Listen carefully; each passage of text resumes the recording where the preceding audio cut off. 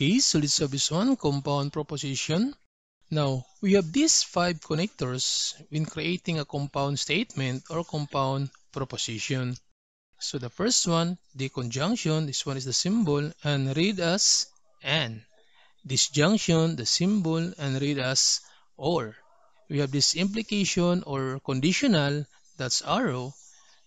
If, then first statement, then the second statement. Then uh, bi-implication or biconditional, the double arrow. So we have this first statement, then if and only if, then the second statement. And the last one, the negation, this is the symbol, that's not. So let's have this given. So we let P, Mr. Ocampo is a math teacher. Then Q, Mr. Ocampo is a basketball player.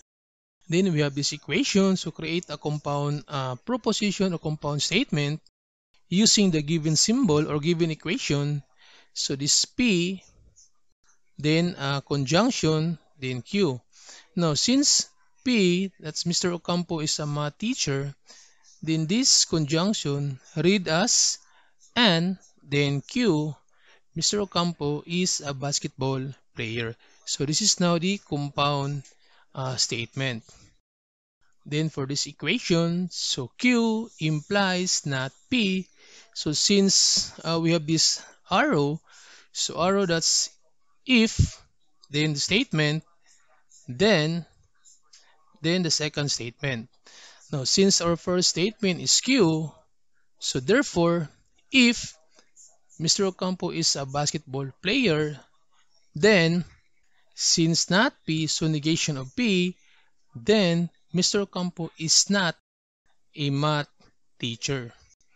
Then for the third equation, so we have this not P uh, bi-implication not Q. So for bi-implication, first statement, if and only if then the second statement.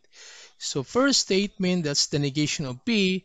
So we have this Mr. Ocampo is not a math teacher. Then if and only if negation of Q, so not Q, so Mr. Ocampo is not a basketball player.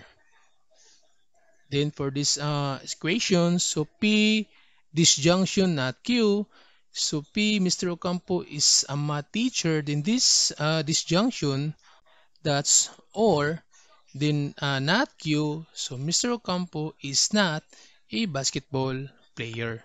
So this is how to create a compound statement or a compound proposition.